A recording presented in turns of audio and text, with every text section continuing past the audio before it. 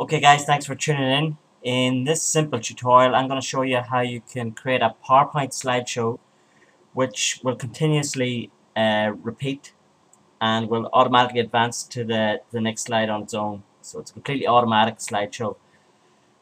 So first thing you want to do is go into transitions.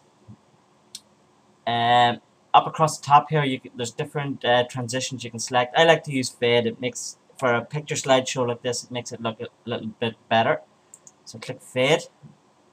Uh, over here on the right, advanced slide. I want to say after. I'm gonna I'm gonna put in one second here, but you'd probably have it sitting a little bit longer than that.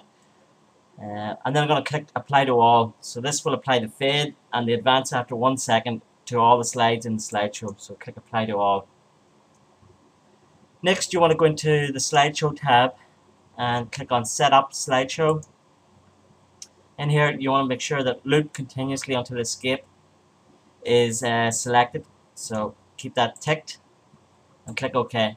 And that's it, ready to go. Your, your slideshow will advance automatically and loop continuously.